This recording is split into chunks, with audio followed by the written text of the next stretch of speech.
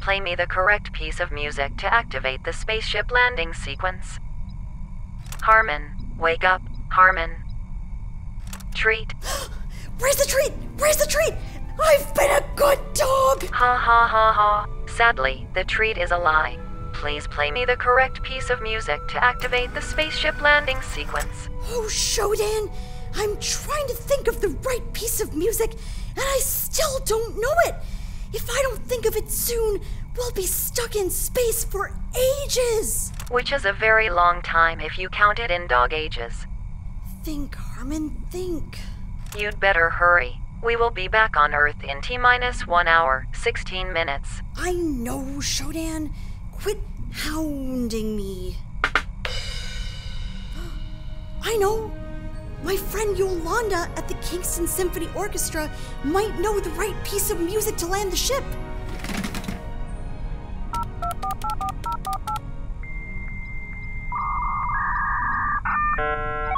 Hi, Harmon. How's it going up in space? Hi, Yolanda. It's fun, but I'll be happy when I'm not so physically distanced from Earth.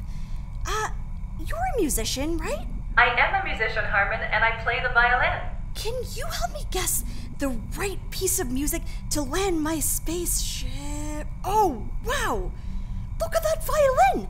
It looks like a me sized guitar, except fancier. How does a violin make it sound?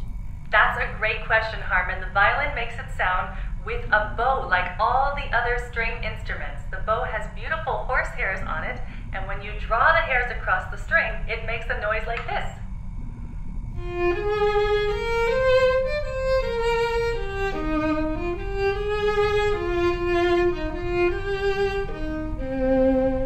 Oh, that sounds so lush. So, how is the violin different from the other string instruments in the orchestra? We're the smallest instrument in the string section. We also play the highest notes.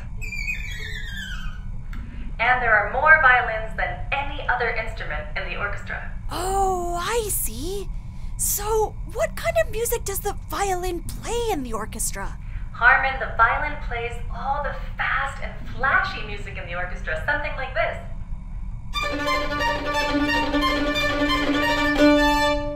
But the violin also plays those beautiful melodies that you might be whistling down the street long after the concert is over.